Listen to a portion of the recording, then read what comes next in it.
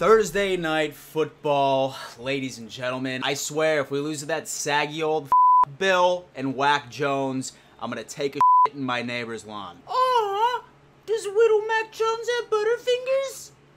You can't hand the ball off on third and one. You're trash! Trash! Hey, that was smart.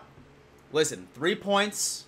We're taking the points. Josh Allen looked okay. There's no way that the Patriots offense is gonna respond here. Absolutely no way in hell. Who the fuck was that? Who was that? Marcus Jones?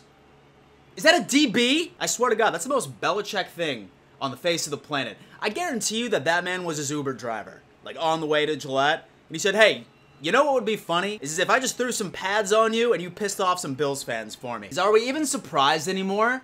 Diggs is him. Timothy Diggs. What's even more surprising is the fact that Belichick literally put a rookie on Stefon Diggs. He is embarrassing this guy, straight up disrespecting him.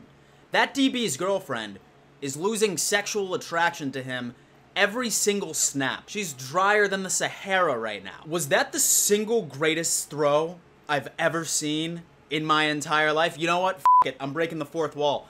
Josh Allen is back, and all you other NFL fans are.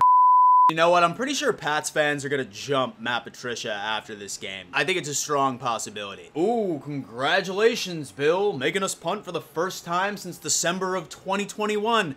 Each why can't we ever have nice things? Aw, you get a fumble recovery and you can't translate it into points? What is that, Nick Folk? You're trash? Get that out of here. Got a run game, folks. We have a run game.